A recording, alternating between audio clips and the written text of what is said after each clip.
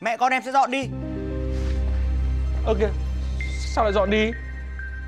Anh vừa đi đâu về? Để anh đi làm về. Bác Chí cũng đi làm à? Ờ Các anh coi tôi là cái gì hả? Định dắt mũi tôi bao giờ nữa? Có cái gì đâu mà em sồn sồn lên thế. Anh xem đi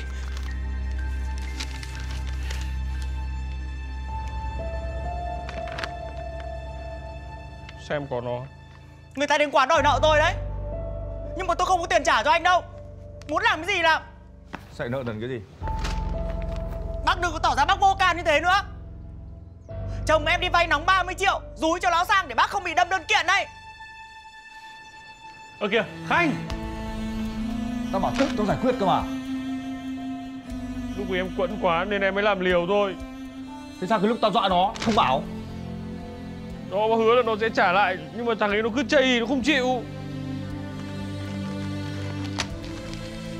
Ơ kìa Anh Chí. Anh đừng dây với cái thằng ấy nữa. Đây ra. Em có cách để trả nợ rồi mà Anh yên tâm đi Đừng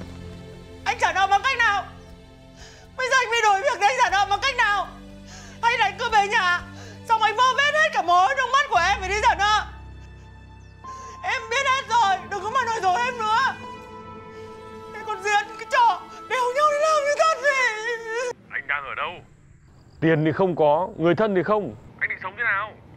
Bạn tao đón rồi Đang ở nhà nó. Nhà bạn nào? Anh gửi địa chỉ cho em đi. Em sẽ qua để em đón anh về. Mày bị thần kinh à? Lo cho vợ con mày đi chứ. Khó khăn lắm anh mới về được đến nhà. Bây giờ anh như thế này Làm sao mà em sống được? Sao mày cứ phải nặng nề thế nhỉ? Hả? Tao ra ngoài ở là đúng việc còn gì nữa Em không cần biết.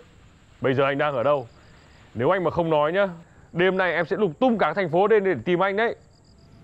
Ủa thằng thần kinh Tao ở nhà bạn tao Không phải lo.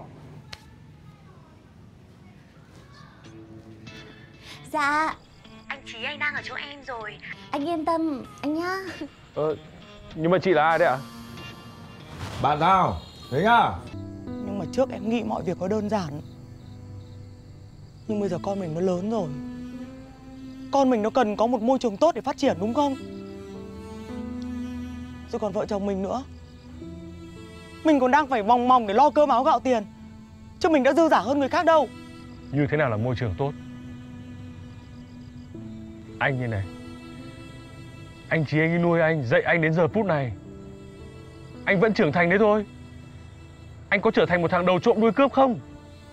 Em không làm gì sai cả Nếu mà ngay từ đầu anh và bác Chí nói rõ sự thật với em Thì tất cả mọi chuyện nó đã không như thế này rồi.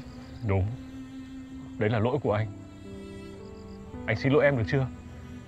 Nhưng em có dám thề giữa trời này Là nếu như anh nói thật Thì em không cư xử như thế này không? Cô đâu ấy. Chị đi làm. Tưởng làm chỗ cái khanh cơ mà.